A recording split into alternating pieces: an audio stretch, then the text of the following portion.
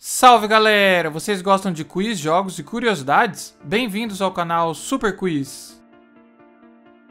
E o vídeo de hoje é Jogo das Decisões Naruto Escolhas difíceis para se fazer no universo de Naruto. Já se inscreve no canal para não perder nenhuma novidade e deixe seu like se gostar do vídeo.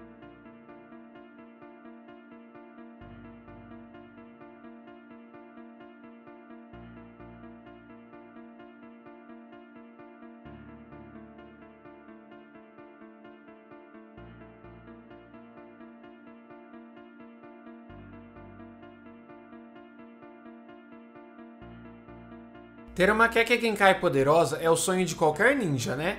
Mas e aí, qual desses dois poderosos estilos você gostaria de ter se pudesse escolher?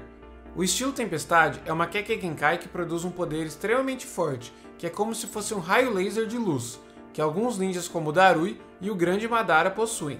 E o estilo Explosão é uma Kekkei Genkai que permite fazer chakra explosivo, e tem alguns usuários como Deidara que coloca chakra na argila para explodir, ou Gary que explode os inimigos que ele apenas rela com a mão. Resumindo, são dois poderes bem apelões e podem causar muitos estragos nos inimigos. Mas, entre essas escolhas, eu com certeza vou de estilo explosão. Afinal, sou fã do Deidara e eu acho muito útil esse poder. E eu ia tentar desenvolver algum estilo diferenciado na mesma linha que o Deidara, colocar chakra em alguma coisa ou objeto e tentar acertar o inimigo com isso. Acho que seria interessante, por exemplo, aprender o ninjutsu de dar vida a desenhos do Sai e colocar meu estilo explosão nos desenhos. Seria uma boa, hein? Então, partiu explodir tudo no mundo ninja, porque a arte é uma explosão.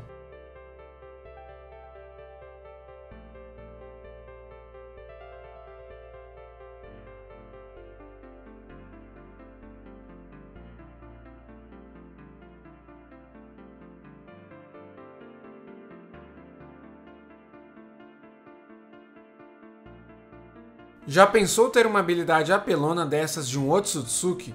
Pensa em umas habilidades roubadonas, são as desses personagens. E aí, você queria ter a habilidade especial do Momoshiki ou do Urashiki?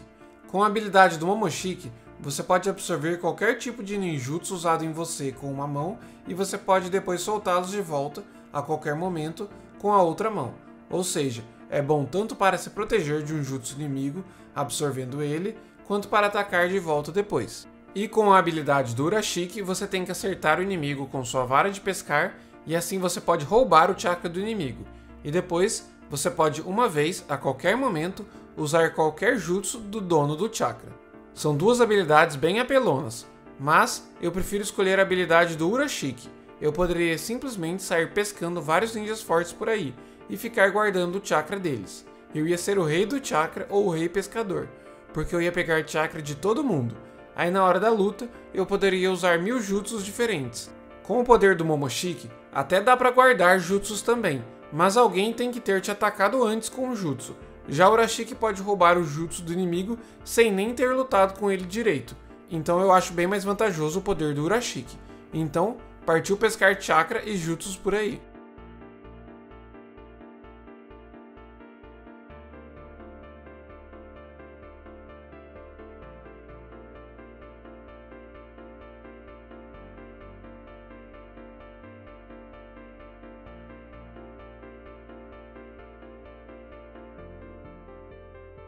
Essa é muita sacanagem, hein? Imagina só, você ser extremamente poderoso, ganhar toda a força e poderes dos ninjas mais fortes do mundo ninja, mas ter como fraqueza alguma das coisas mais fracas e tontas do anime. Bom, pensando em poder, qualquer um dos dois eu já estaria muito feliz. Ou eu teria o poder da ressurreição de Ashura, de Inchuriki de Nove Caudas e ser do clã Uzumaki, ou teria o poder de ser ressurreição de Indra, ser do clã Uchiha, ter Mangekyo Sharingan e Suzano. Resumindo, os dois iam me dar poderes incríveis.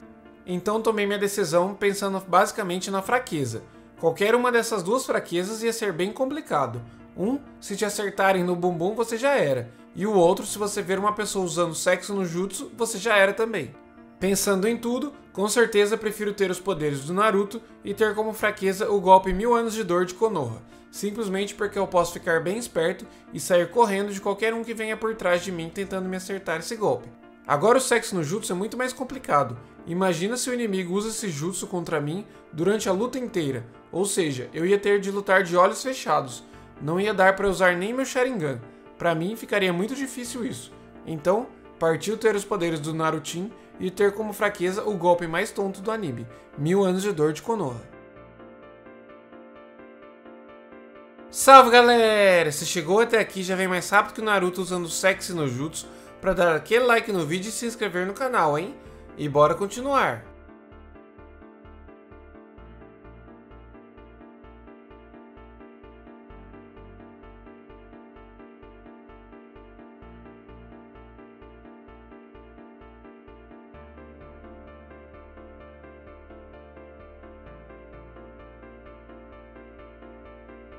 Uau, essa é legal, hein? Adoro invocações de Naruto. Conta pra mim, se você pudesse escolher, ia preferir invocar macacos como o Rei Macaco Ema ou o Pequeno Enra, ou invocar águias como a do Sasuke e corvos como do Itachi? Primeiro queria dizer que juntei as invocações do Sasuke e do Itachi em uma opção para ficar mais equilibrado com a dos macacos. Então, bora lá para a escolha.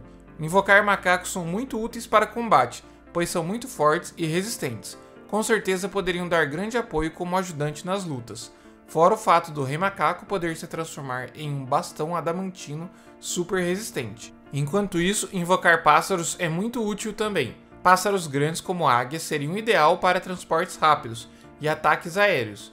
E invocar corvos seria muito útil para atacar os inimigos com um grande número de animais, o que iria diminuir seu campo de visão e dificultar seus ataques assim como são ótimos para mandar ver num genjutsu, né? Ou seja, os dois são muito bons, mas eu escolheria invocar os macacos. Acho que seria muito útil ter um fiel e forte ajudante para lutar ao meu lado. E aquele bastão adamantino não tá para brincadeira não. Daria para usá-lo em várias lutas, já que é resistente demais e ainda aumenta de tamanho. Muito bom. Então, partiu invocar macacos no estilo Sarutobi.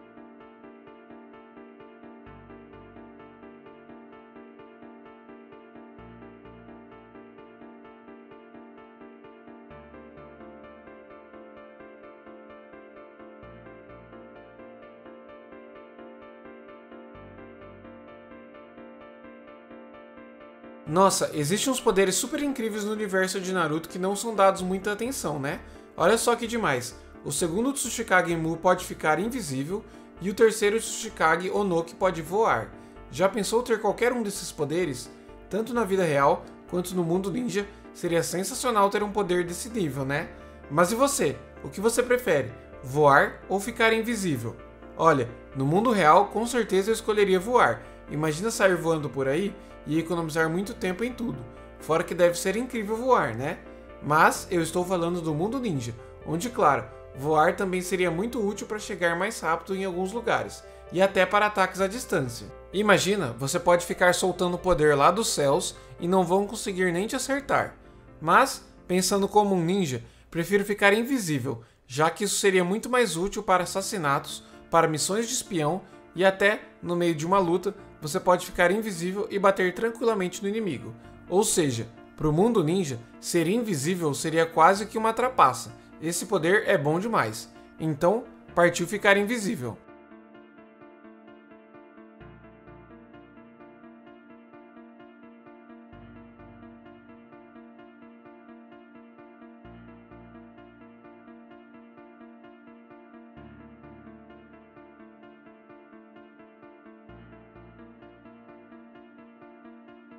Nossa, já pensou que incrível passar as férias com os personagens de Naruto? Seria legal demais, né?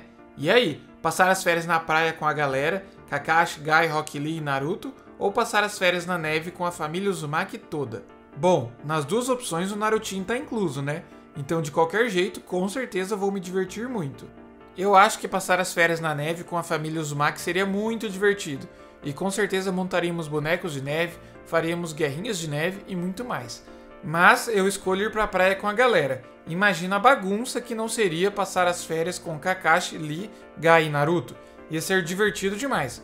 Fora que eu prefiro mais praia e calor do que frio e neve. Então essa é a minha escolha. Partiu praia com a galera de Naruto.